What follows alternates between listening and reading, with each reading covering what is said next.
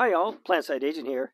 Today we're going to take a second look at this copper tube alcohol burner. So if you're interested, stay tuned.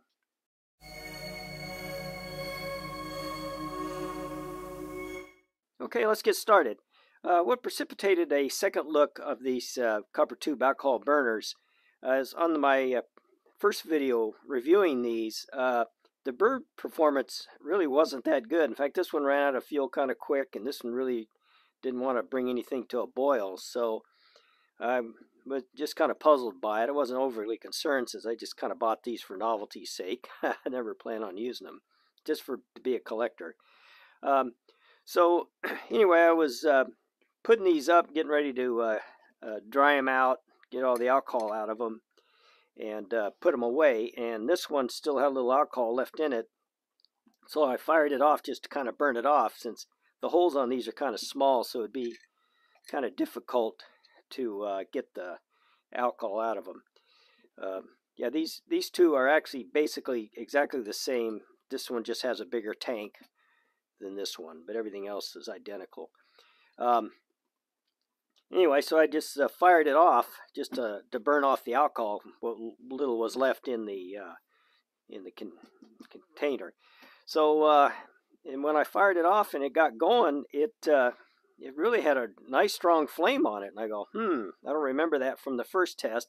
Maybe like a, some stoves, you have to kind of burn them in before they uh, really start performing well.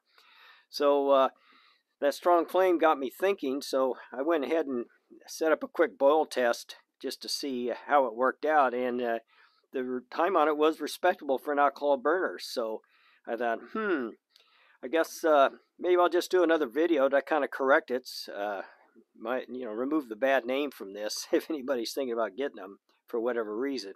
So I thought I'd just uh, do another boil test, let you guys look at it and uh, see what you think. So anyway, I'm going to go ahead and uh, set up the uh, the boil and get right back to you. All right, I think I'm ready to run the boil test. Well, by the way, I used the little filler bottle that came with these stoves. Like if you look at the other video, these uh, came with a lot of goodies with them. So actually, it wasn't a bad little deal. But anyway, it came with these uh, small, uh, just about two ounce water bottles, 50 uh, milliliter uh, fuel bottles. And I filled this one up, and it took uh, 45 milliliters, which uh, what is that? It's about an about an ounce and a half. So a pretty good sized tank. So that should be plenty of alcohol to, to boil two cups or a little bit more than that. So so anyway, I filled filled him up. So let's go ahead and get ready to uh, to boil. Here's the pot stand. This is the one that came with this particular stove. And by the way, it is about an inch and a quarter from the top here to the bottom of the uh, the pot stand. So that's within the uh, the the sweet spot for alcohol stoves. So go ahead and get this one fired off.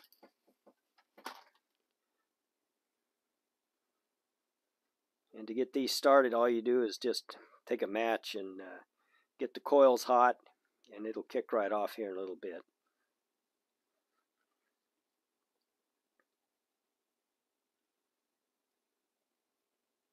There you go.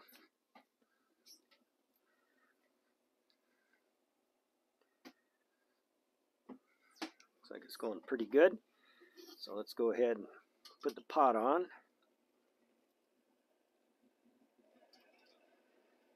I don't know if you can hear that roar or not. And as before, I'll uh, swing around let you look at the flame pattern. There's your flame pattern. Okay, as we're waiting for the uh, water to come to a boil, I'll mention that I will put a link to the uh, previous review on these uh, burners in the description along with a uh, link to my playlist of all my uh, burners and stove uh, videos. while we're waiting uh, the water to boil, another couple of comments. Um, I did purchase these on Temu, and I've also seen them on AliExpress. Uh, there might be other places you can find them.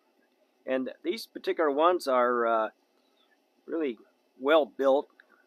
Can't complain about that. I had one commenter said the stuff you buy from Temu is uh, is crap, and that's not necessarily true. I've bought quite a bit of stuff from them and from AliExpress and have had pretty good luck, you know.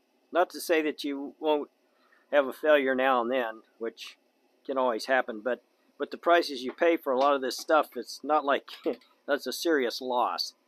Yep, getting close. 208. It's boiling away in there. Oh yeah. Got the royal boy rolling boil before 210. 209.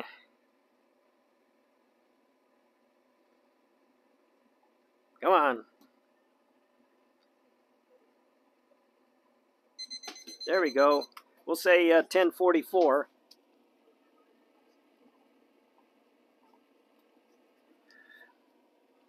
All right, so uh, 1044 to bring it to 210, which uh, is a probably standard or respectable time for a uh, alcohol uh, burner.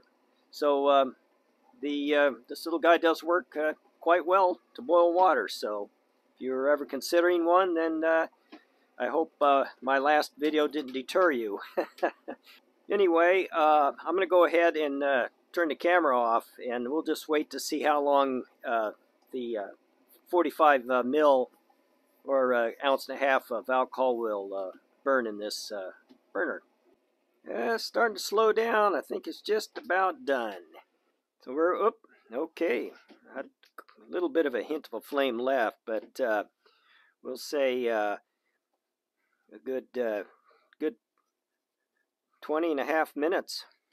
So that's uh, that's respectable burn time, plenty of heat. So uh, um, I have to apologize for uh, the poor test on the last uh, video and uh, dissing this stove. So looks like it's a it's a good stove. Now the other one's a little bit bigger. Say this one held a ounce and a half, ran for 20 minutes. Um, this one looks a little bit bigger, maybe half an ounce, 25 mil more than this one. Just looking at the size comparison. So depending on which one you want to get if you need the burn time imagine weight's not that much difference so size wise yeah it's a little bit bigger if you're looking for size. So anyway that's the uh, the redo on this boil test. Uh, apologize to the uh, stove for uh, the poor performance of last or my poor technique on the last video. So that's all I can say on this one. I hope you guys enjoyed the video and we'll see you next time. Bye bye